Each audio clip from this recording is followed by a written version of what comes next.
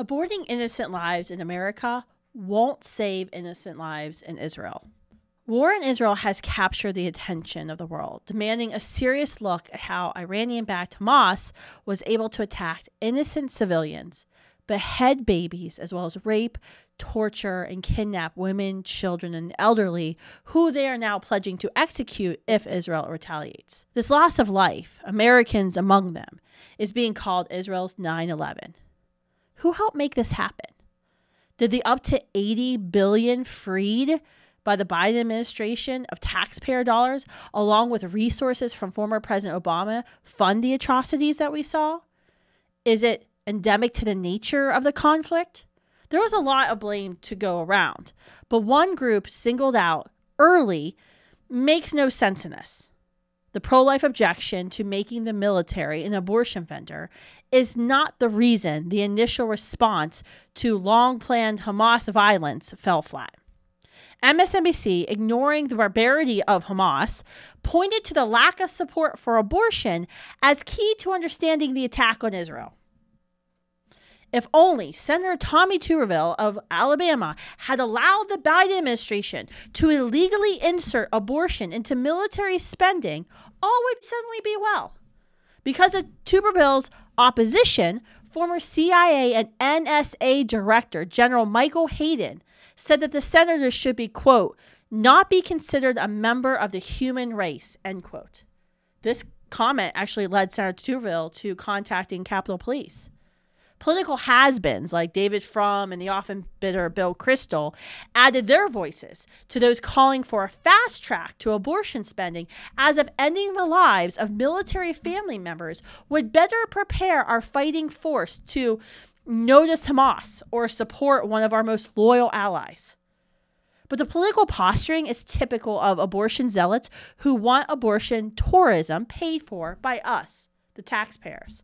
In a letter to the Secretary of Defense, Lloyd Austin, this March, several U.S. senators reminded the Biden official that such a thing is, to be clear, unlawful.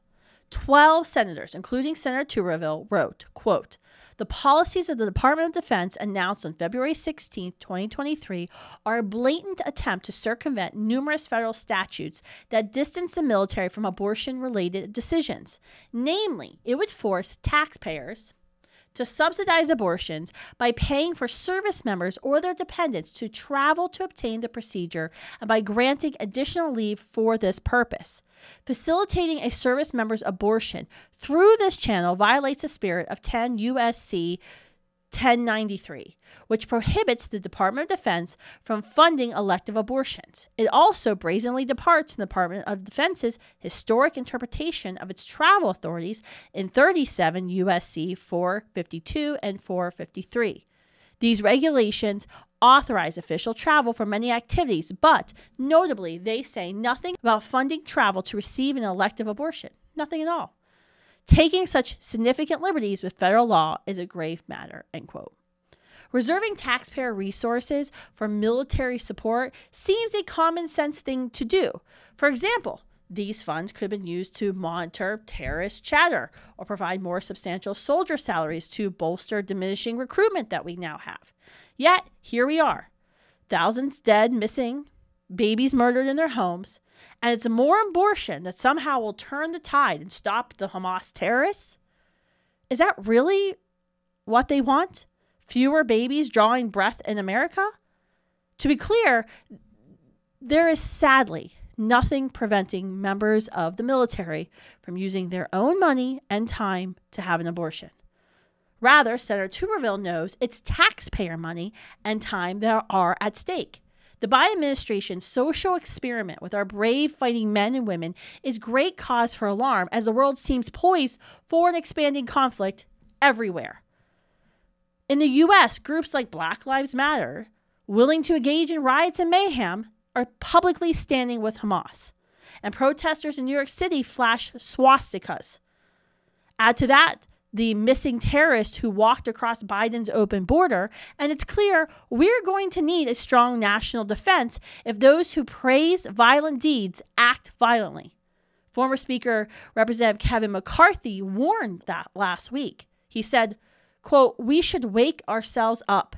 We could have the same thing happen next week to us, end quote. Blaming Senator Tuberville's opposition to abortion funding for any lack of readiness in the military is more than disingenuous. The radically pro abortion Senate Majority Leader Chuck Schumer could bring up the military candidates for a vote one at a time if he didn't want to hold on to his abortion talking point, and if the Democrats could drop their point altogether. Rahm Emanuel, the former chief of staff to then President elect Barack Obama, articulated this cold calculus once saying, quote, you never want a serious crisis to go to waste. And what I mean by that is it's an opportunity to do things you think you could not do before, end quote. Perhaps Schumer is a fan of the Rahm Emanuel strategy. Democrats couldn't fund abortion in the military before, but there is something exceptionally cold about saying that defending the innocent in Israel demands the loss of innocent lives to abortion in the United States. Using the crisis to insert a pro abortion agenda into military spending goes far beyond the ordinary shamelessness of politics.